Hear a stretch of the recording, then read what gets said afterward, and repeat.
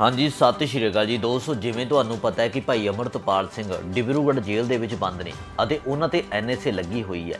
ਅਤੇ ਦੋਸਤੋ, ਅੱਜ ਐਨਐਸਏ ਲੱਗੀ ਨੂੰ 1 ਸਾਲ ਹੋ ਚੁੱਕਿਆ ਪਰ ਦੋਸਤੋ, ਜਿਵੇਂ ਤੁਹਾਨੂੰ ਪਤਾ ਹੈ ਕਿ ਅਮਰਤਪਾਲ ਸਮੇਤ ਉਹਨਾਂ ਦੇ ਸਾਥੀਆਂ ਵੱਲੋਂ ਡਿਬਰੂਗੜ੍ਹ ਜੇਲ੍ਹ ਦੇ ਵਿੱਚ ਭੁੱਖ ਹੜਤਾਲ ਕੀਤੀ ਹੋਈ ਹੈ। ਅੱਜ ਲਗਾਤਾਰ 18 ਦਿਨ ਹੋ ਚੁੱਕੇ ਨੇ। ਪਰ ਦੋਸਤੋ, ਉਸੇ ਭੁੱਖ ਹੜਤਾਲ ਨੂੰ ਦੇਖਦਿਆਂ ਹੋਇਆਂ ਉਹਨਾਂ ਦੇ ਪਰਿਵਾਰ ਵੱਲੋਂ ਵੀ ਅੰਮ੍ਰਿਤਸਰ ਦੇ ਵਿੱਚ ਇੱਕ ਭੁੱਖ ਹੜਤਾਲ ਰੱਖੀ ਗਈ ਸੀ।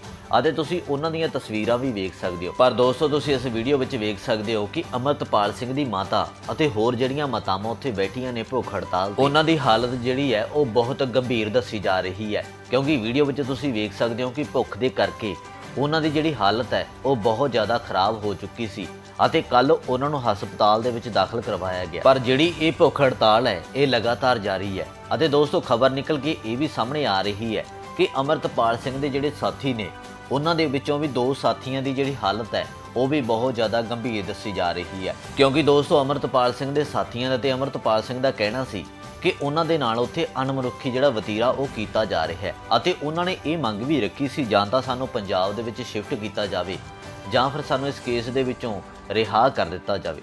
ਸੋ ਦੋਸਤੋ, ਕੀ ਕਹਿਣਾ ਚਾਹੋਗੇ ਤੁਸੀਂ ਇਸ ਵੀਡੀਓ ਦੇ ਬਾਰੇ? ਕਮੈਂਟ ਕਰਕੇ ਜਰੂਰ ਦੱਸਿਓ ਅਤੇ ਇਸ ਵੀਡੀਓ ਨੂੰ ਅੱਗੇ ਵੱਧ ਤੋਂ ਵੱਧ ਸ਼ੇਅਰ ਜਰੂਰ ਕਰ ਦਿਓ।